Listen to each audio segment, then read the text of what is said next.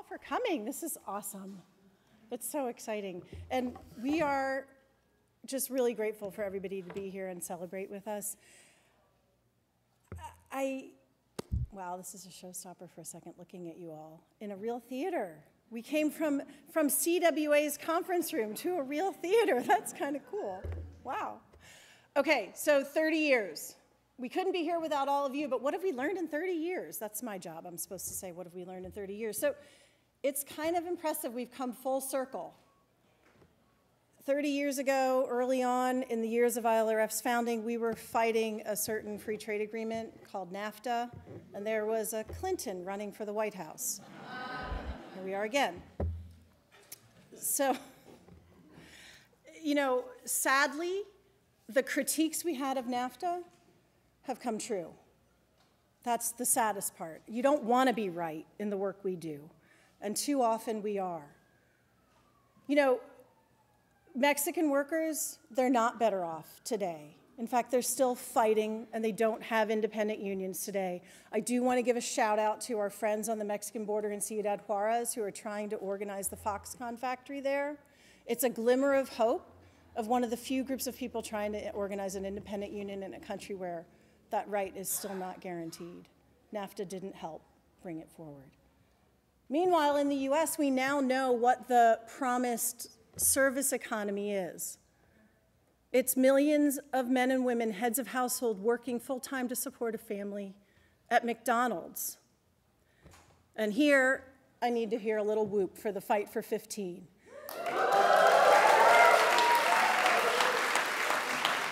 And I, I, have to tell you, you know, it, there are some beautiful sides of globalization because the fight for 15 is inspiring so many of our partners around the world. You'll hear, we get them posting on Facebook and we hear them tweet, we see them tweeting and we have them actually doing signs and saying in solidarity with the fight for 15. And it's inspiring them because they're demanding higher minimum wages themselves. The fight for 15 went forward and said, we need a significantly higher wage, and they're getting it. It's impressive. We need to connect them with so many of our partners. With the McDonald's cropping up all over China, we need to bring them over. It would be great.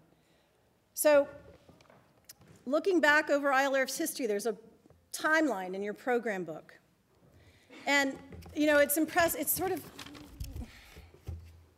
what's striking about that timeline is how many times we've had to circle back around to do things again in order to make sure that the win we, that we, the one win actually sticks. Just a couple examples. In Thailand in 1998, thanks to a a trade complaint that ILRF brought, Thailand had to reform its labor laws. Today, again, we're fighting to reform Thai labor laws because the majority of migrant workers in the seafood industry cannot legally form a union. Peru, we filed a free trade agreement complaint for reforms of the same abusive labor laws that were supposed to have been reformed back when the free trade agreement with the US was signed in 2007. So as much as we're still struggling and we're still fighting and we're tr still trying to make those wins stick, it is, one thing is impressive. We have hammered more trade conditionalities, more human rights conditionalities into US trade policy than pretty much any other country. That, that regime is something to be proud of, and I think this ILRF and the labor movement in the US and the groups here tonight have to be have to celebrate that. We have to say, actually, we've achieved something. I mean, the, the Europeans have nothing comparable. But we're not satisfied. There's no way we should be satisfied because there's still not enough mechanisms out there for us to ensure workers' rights. We can't be satisfied when there's still forced labor and trafficking increasing around the world. We can't be satisfied when there's still 85 million children working who are in extremely hazardous forms of child labor forced to work in order to eat.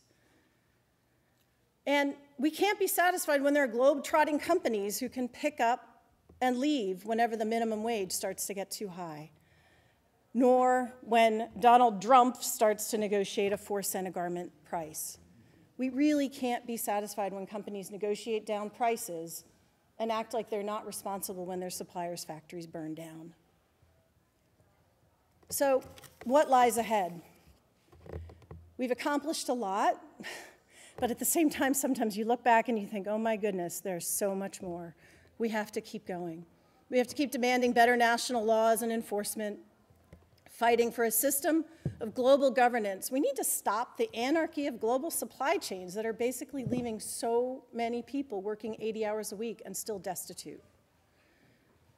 If there's one thing we've learned over these 30 years, though, it's that the key to ensuring workers' rights is enabling workers to have a voice and to be able to speak out without fear of reprisals.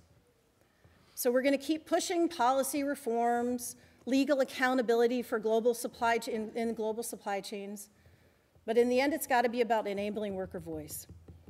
Our job is to remove the barriers and to create the space for the leadership of grassroots worker organizers everywhere. Um, tonight's awardees are tremendous fighters for exactly that goal. All three have helped us in, our, in ILRF's mission to inject human rights into global supply chains and trade policies. Congresswoman Marcy Kaptur, I'm so glad you made it tonight. Thank you for coming.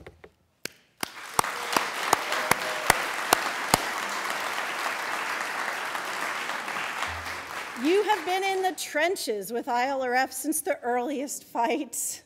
Ferris reminded us of that early on when we were planning this event. He said, Oh, it's got to be Marcy. She's been with us for so long on these fights. Fighting NAFTA, and now also trying to fight the TPP, We've, fighting the flawed trade agreements that are going forward. And the machinists, the machinists were there, they're among our earliest allies in the union movement. They've been absolutely essential for the fight in Bangladesh to achieve the legally binding, groundbreaking accord for, bang, for, for fire and building safety in Bangladesh. Finally, among our bravest partners, we honor our partners from Uzbekistan tonight. And I'm going to try not to get too choked up because when you hear their story, it really will stop you. Umida Niyazova is here tonight with us, thank God. And she's representing our partners from Uzbekistan who have been and still are on the front lines of the fight to end state sponsored forced labor in that country. I, it, we tried to get our partners who are still on the ground in Uzbekistan here, and they couldn't come. They couldn't get out of the country. Umida has been working with them and helping them. She herself is in exile, and we're grateful that you're here tonight. Thank you. Now, before I turn the mic back over to Yvette, I want to take a moment as Yvette comes back up here. I need you to all show support for the Communication Workers of America, Yvette's union.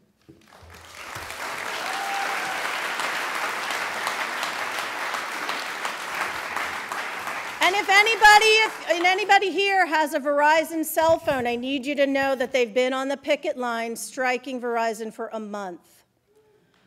Verizon is an incredibly profitable company. They keep making more money and doing better, and yet why are they demanding cuts in benefits? Because they think they can. We need to tell them they can't. So thank you, Yvette, for making time in the middle of everything else. Thank you, Judy.